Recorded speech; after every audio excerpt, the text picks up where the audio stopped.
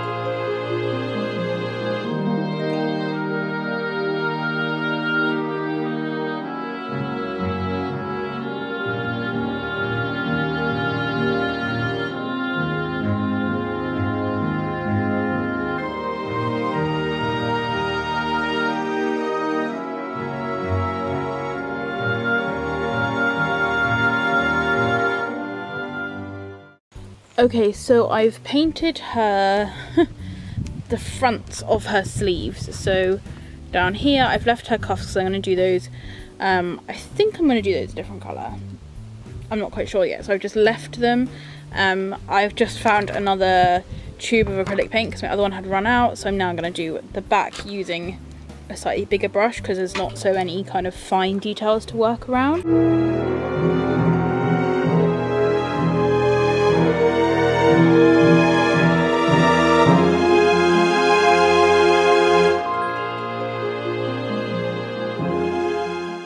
Okay, so I've painted her whole um, coat jacket thing um, black now. There's little kind of purple bits which keep showing through as it dries, but it's pretty much covered. I'm thinking about maybe putting like a bat or something on the back. Um, I'm not too sure yet. I'm leaving this part black, so it's just kind of black on black. Um, I don't have any silver paint, which would be really good if I did, um, but I'm thinking of making the gold a slightly more orangey colour. Um, so I am going to paint the cuffs of her her top black now. I was going to do them orange, but I think I'm going to make the gold bits orange instead, if that makes sense.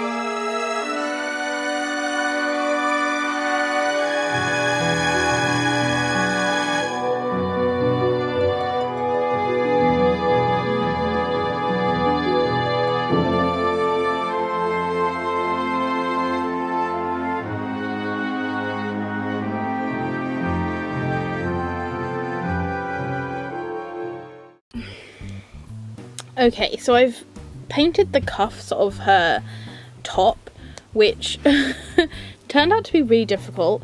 Um, I did get some black paint on the ball and on her hands, so what I did was I then just wet and clean my paintbrush, um, and then I basically just painted it with water and wiped it off, but that was quite fiddly, and there is still a little bit of like blackness too, like kind of black smudges but I think once I've painted her fingernails um, that will be less prominent. I'm now going to move on to her hat which is like purple colour as well and just paint that over in black so just kind of following this same theme.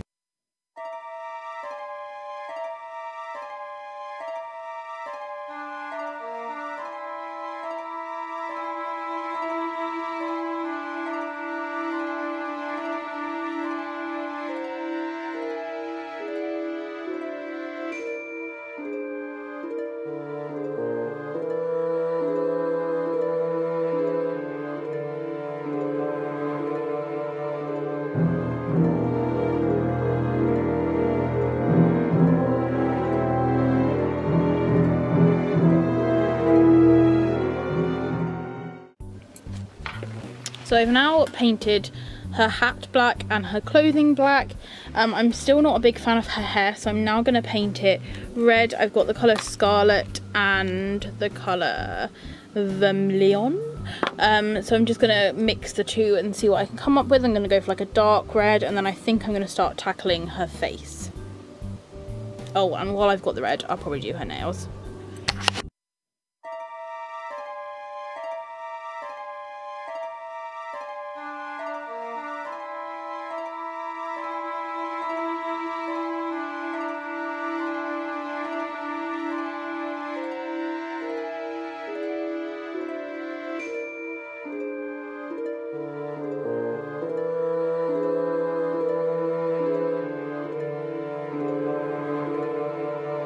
you.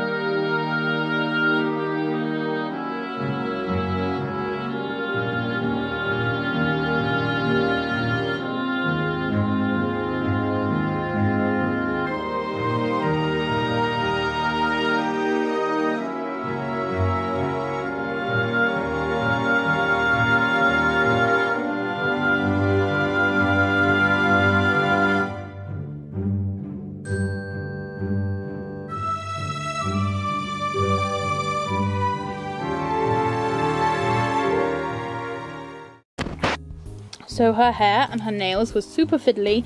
Um, I could have done with like a, a, definitely a thinner brush would have helped.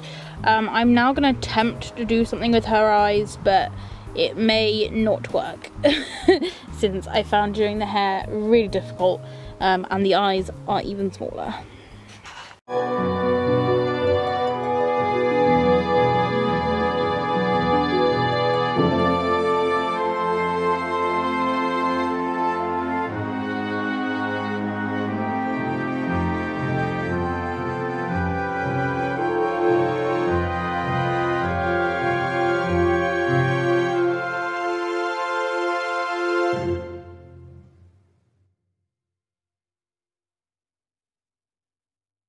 Okay, so I've come inside just because it got really chilly and windy outside um, and just kind of finished off a few details like her eyebrows um, and her freckles and finished off her nails again because they all came off um, and her hat.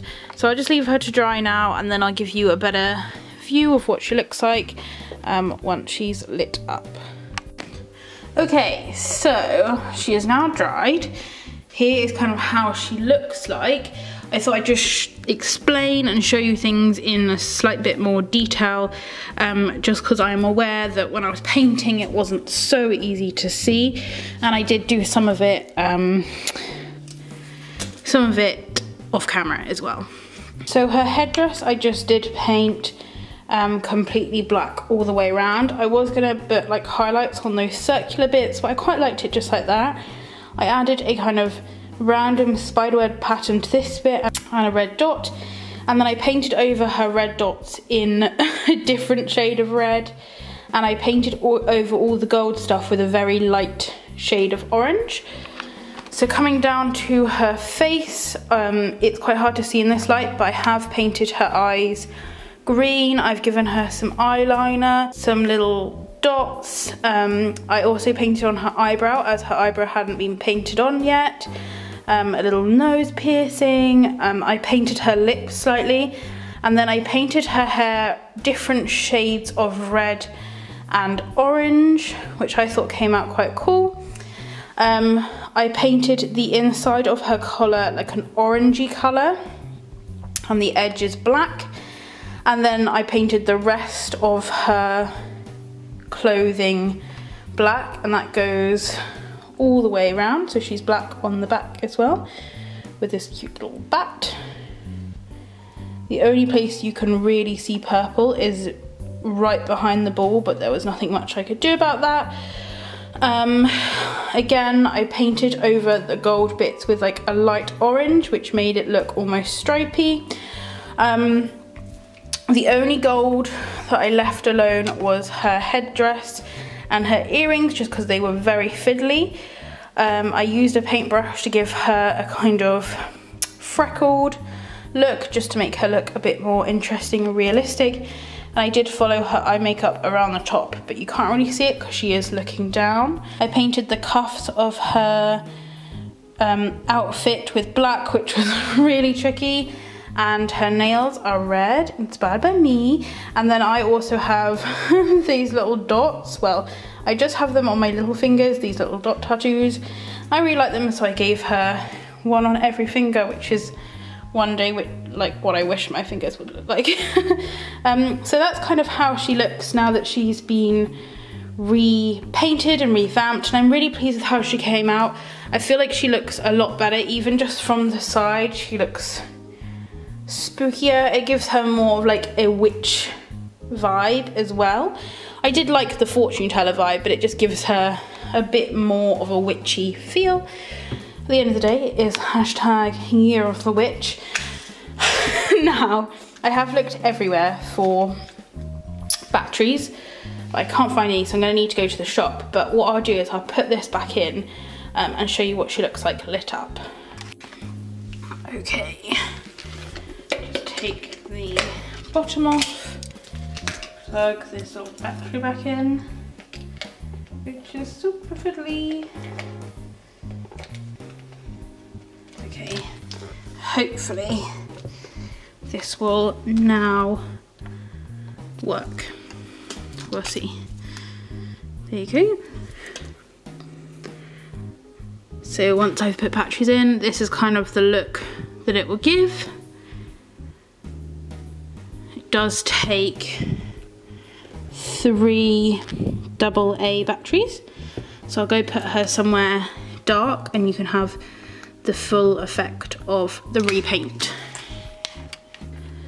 Okay, so I'm just at the bottom of the stairs because it's nice and dark. So just to show you, that's kind of how she looks. And if I turn my exposure down a little bit, you can see a bit better. That's kind of how it looks to the, the human eye. Maybe actually, hang on fiddling with my camera settings. Yeah, that's better. So that's kind of how it looks to the human eye. You can see the detail of her um, headdress slightly. You can see her facial features. Um, and you can see like the outlines of her hands and stuff, but not much else other than the ball, which is obviously swirling in real life. But I'm so happy with how she looks and I'm really glad that I did repaint her. I did um, use acrylic paints um, for the whole of this project. If I was to do it again or do anything else again like this, which I haven't done since last Halloween or perhaps the Halloween before, I definitely would um, invest in some better paintbrushes because my paintbrushes are very old and they're really rubbish. Um, it just made getting the, the fine details quite hard. Like her eyeliner is slightly thicker than I wanted it to be, but it's the thinnest I could do. And some of the things like the dots I just did with bits of wire and plastic. So yes, that would definitely be a, a future purchase that would benefit me as an artist. But hopefully this gave you some ideas of how, if you've got this piece, you could jazz it up or even if you've got a piece that you like or you see a piece that you like but it's just not quite right. I loved this concept I loved this idea. I just didn't really like the colour but actually it took me about an hour to paint. But now it's a piece that I'm super excited about. If I had seen this in the shop I would have bought it with no hesitation. Um, it just it had a lot of potential and sometimes when you're buying things it's looking for the potential and seeing and thinking oh I could do something really well with that. It did cost me $12.99 I did get it from TK Maxx but I have seen it in HomeSense um, and yeah I have painted lots of HomeSense and TK Maxx things before. Didn't do much last year but definitely after doing this I've got a real drive to do a bit more. And even if it was like you liked her whole outfit but you wanted to give her more, you know, realistic eyes. We wanted to give her makeup. I really wanted to give her an eyebrow because I thought she looked weird without an eyebrow. Um, just something really simple can completely change your perspective and your feeling towards something. So hopefully this helps some of you. Um, thank you very much for watching. Thank you for everyone who responded to my vlog when I asked if you would like to see this. I was really grateful for hearing your feedback. So thank you very much for watching. If you do have any questions comments, please leave them down below if it's anywhere you are. I hope you're enjoying the shade and I will see you next time. Bye!